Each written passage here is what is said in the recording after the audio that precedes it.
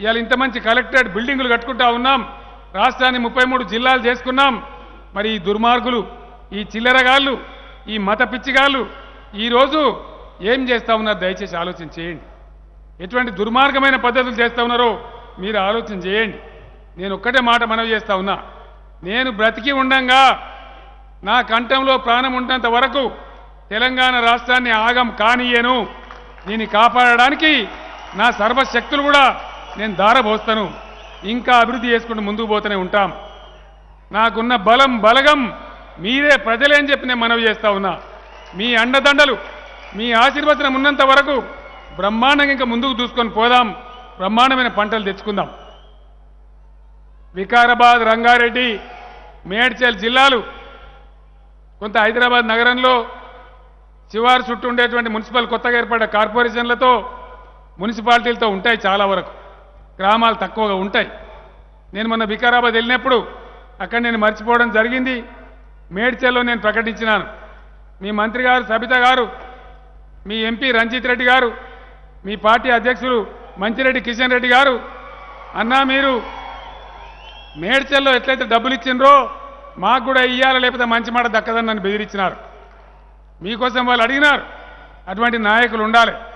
అందుకోసం వికారాబాద్ రంగారెడ్డి మేడ్చల్ మూడు జిల్లాల వాళ్ళకు కూడా గతంలో ఐదు కోట్లు ఇచ్చినాం. ఎమ్మెల్యే గారికి ఇంకో పది కోట్ల రూపాయలను ఈరోజు మంజూరు చేస్తా ఉన్నాం.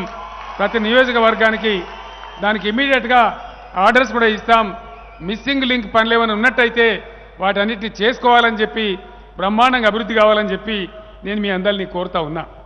నేను మీ అందరినీ కోరేది ఒకటే మన ఐక్యత దెబ్బతిన్న నాడు మతశక్తుల పిచ్చికి మనం లోనైనాడు మనం చెదిరిపోయిన నాడు మళ్ళీ పాత తెలంగాణలాగా తయారవుతాం బతుకులు ఆగమైతాయి. వీళ్ళు ఎక్కడ ఏం ఉద్ధరించింది లేదు ఊడబొడిచింది లేదు. నేను ఒక్కటే మాట మీకు చెప్తాను. పక్కనే మీకు దగ్గరనే తాండూరు మీకు వెళ్ళిపోతే కర్ణాటక రాష్ట్రం వస్తుంది. పక్కనే ఉంటుంది మీకు.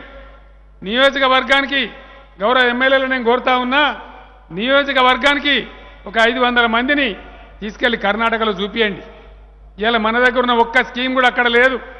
కళ్యాణ లక్ష్మి లేదు షాదీ ముబారక్ లేదు అంబేద్కర్ స్కాలర్షిప్ లేదు అనేక కార్యక్రమాలు లేవు.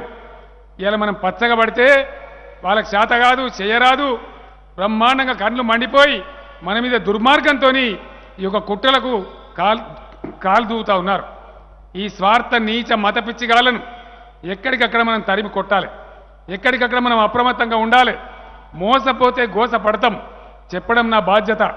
నేను మేధావులను రచయితలను కళాకారులను విద్యార్థులను యువకులందరినీ కూడా కోరుతా ఉన్నా ఒక వంద సంవత్సరాలు తెలంగాణ ఆగమవుతుంది భారతదేశమే ఆగమవుతుంది